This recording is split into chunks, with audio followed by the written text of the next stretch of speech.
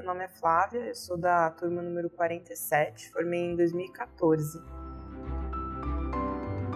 É, minha história na Santa Casa começou quando eu saí no colégio, né? Eu estava um pouco na dúvida se eu faria engenharia ou medicina, aí eu comecei o curso de engenharia, durei uma semana e desisti. Aí eu estava no cursinho e tinha um amigo que fazia Santa Casa, ele falou: "Ah, vai lá assistir uma aula comigo". Aí eu vim assistir uma aula de bioquímica pré-intermédio dos alunos, não entendi nada, mas eu fui apresentada para a faculdade e gostei bastante. Aí no ano seguinte eu comecei o curso.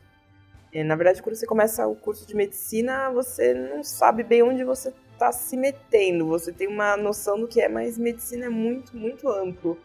Então, no começo tem as aulas de anatomia, você acha que você não, vai aprender tudo, não dá tempo, mas no fim você consegue fazer nas coisas. E quando eu entrei, eu queria participar de tudo. Eu participei do, do time de voleibol durante os seis anos da faculdade. Eu participei do centro acadêmico também. E, e sempre fazia atividades extracurriculares, as ligas e tudo que a faculdade oferecia. A minha escolha, hoje eu sou cirurgiã plástica e durante a faculdade eu sempre me interessei por área cirúrgica, que eu gosto muito de, da parte de trabalho manual, né? Não só diagnóstico, mas poder tratar com a mão mesmo, mexer no paciente. É muito gostoso, assim, esse ambiente.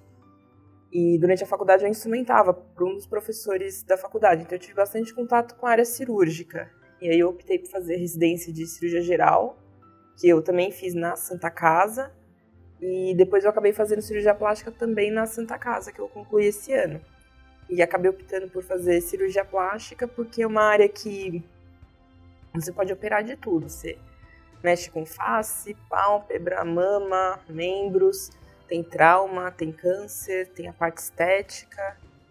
E foi basicamente essa a minha escolha.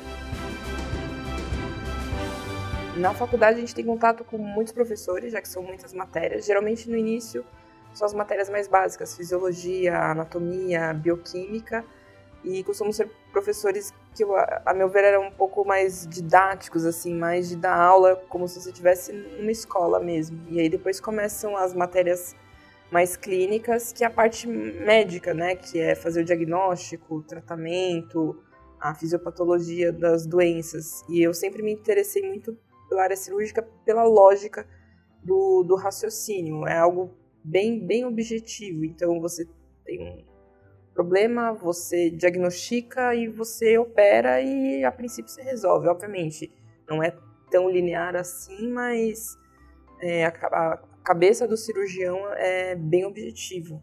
Você tá ali com o paciente, você precisa resolver. E isso é algo que sempre me atraiu né, nessas áreas. Na residência, a gente tem também a parte estética, mas a gente lida muito com tumor, a gente lida muito com, com traumas também, com, com feridas complexas. Isso me tornou, pelo menos a meu ver, uma cirurgia mais completa. E acho que a grande vantagem disso é que a rotina não vai ser sempre a mesma, então eu não vou estar sempre todo dia operando a mesma coisa. E eu gosto dessa variedade, então um dia eu vou estar operando uma, uma mama, outro dia um abdômen, outro dia vai ter um queimado, Outro dia vou estar tratando um melanoma. Eu acho que isso enriquece muito o dia a dia e, e torna a profissão muito mais, muito mais agradável para você exercer.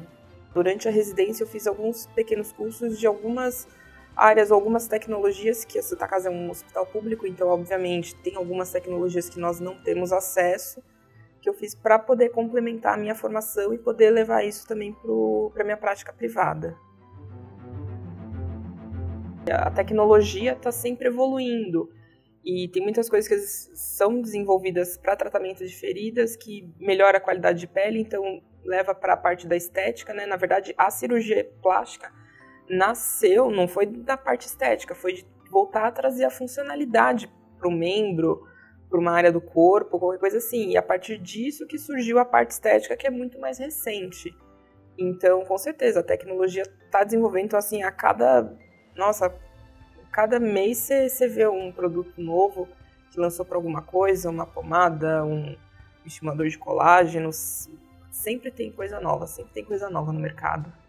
Para medicina a gente precisa é uma, é uma ciência observacional, então você precisa ver os resultados, mesmo a curto, médio e longo prazo, para você poder adotar aquilo como rotina. Então, eu geralmente eu gosto de ver, conversar com colegas que já usam um produto, não só de ouvir a pessoa da indústria. Então, eu gosto de ver como que mexe aquele produto, fazer algum curso relacionado àquele produto, ver resultado daquele produto para eu poder implementar na prática diária. Eu trabalho, eu tenho meu consultório, é, eu trabalho no Santa Isabel, que eu faço sobreaviso de cirurgia plástica, retaguarda. Eu também estou trabalhando em alguns outros convênios que, que atendo, em, atendo no Paulistano e também na Prevent Senior.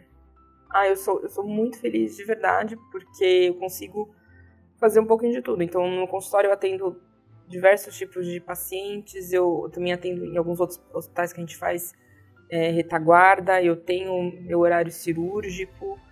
É, assim, são cirurgias, procedimentos que eu gosto bastante, então eu me sinto muito feliz, de verdade, com, com o que eu faço. Uma profissão que, é, para mim, é muito prazerosa, é muito. Ela me instiga sempre a, a manter, a fazer o melhor e a, e a continuar fazendo o melhor para o paciente.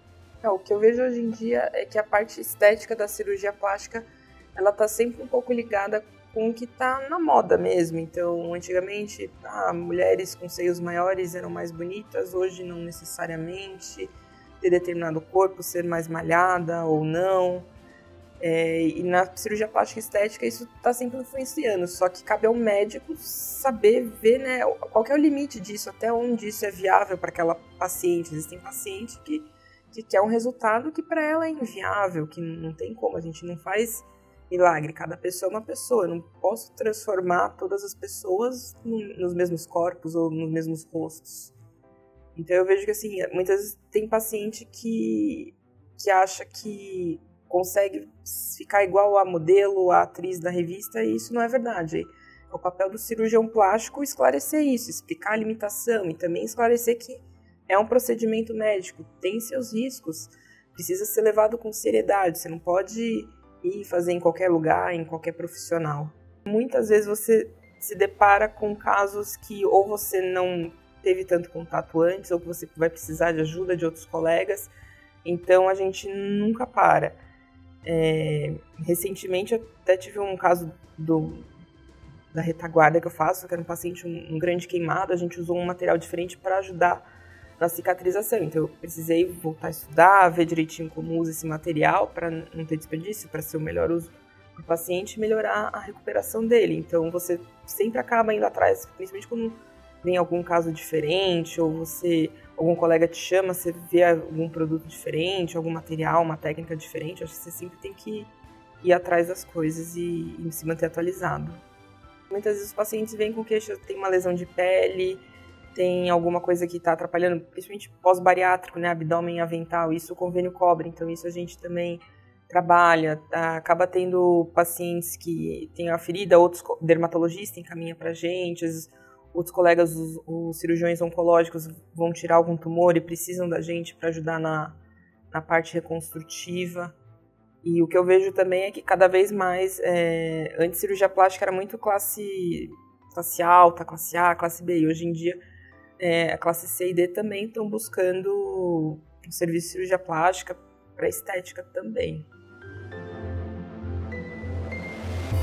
É, eu admito que assim, durante a fase da residência médica, a gente praticamente esquece cultura, né? A gente acaba ficando um pouco bitolado até no, no hospital, nas coisas que precisa resolver, enfim, fica totalmente conectado ao hospital e ao ambiente hospitalar. Mas hoje, nessa parte, pelo menos a meu ver, do ponto de vista pessoal, eu, eu sinto que eu dei uma melhorada. É...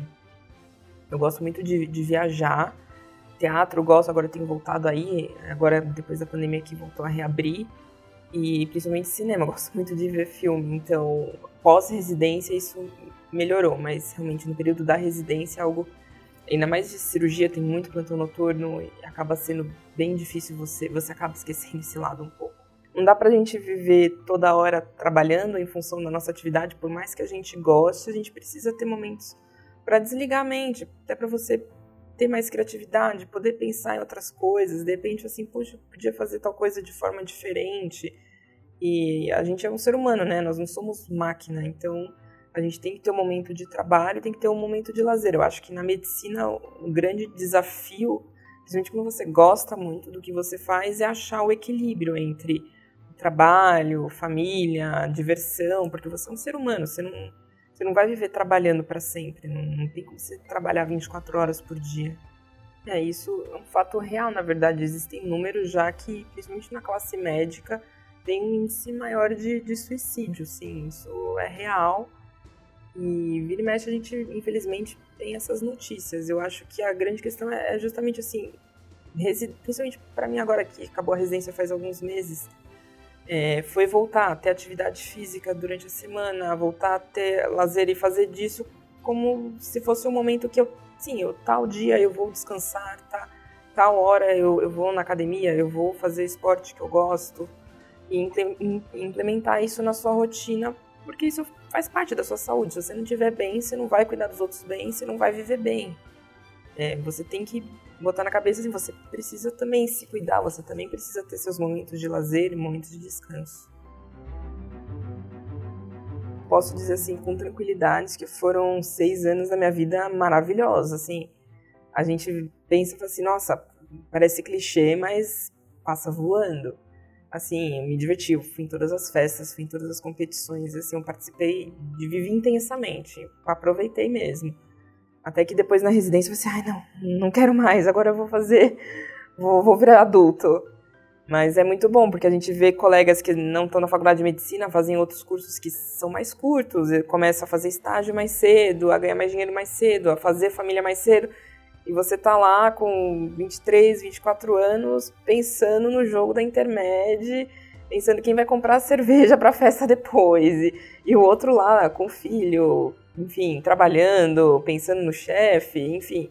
Eu acho que essa adolescência tardia que a gente vive, de certa forma, para mim, pelo menos durante esse tempo, foi, foi muito boa. Eu aproveitei bastante, fiz grandes amigos, eu aproveitei cada momento. Eu acho que para quem está pensando em fazer medicina, o que eu posso dizer é se isso é o que você quer mesmo, medicina é um estilo de vida. É uma profissão que você tem que se doar bastante e você vai trabalhar de fim de semana, você vai ter que trabalhar no Natal, eventualmente, com certeza, vai ter que estudar muito. Mas é muito gratificante. Então, vale a pena para quem gosta, quem tem aptidão para isso. Para quem está na faculdade, que eu posso dizer, aproveita, porque passa rápido. É, e depois você vai estar tá lá no plantão, não sei se vai ter a sorte de ter um colega ou não do seu lado e já vai estar tá médico. Então, aproveita porque esses momentos não, não voltam. Aproveita para tirar dúvidas com os professores, para fazer amizade com os colegas, para participar da, dos eventos da faculdade, para conhecer as pessoas do, dos outros anos, os colegas mais velhos que já trabalham, podem vão com certeza ajudar quando você entrar no mercado de trabalho, porque é uma fase da vida muito gostosa. Você ainda não tem o peso de ser médico, as obrigações e pode aproveitar tudo isso.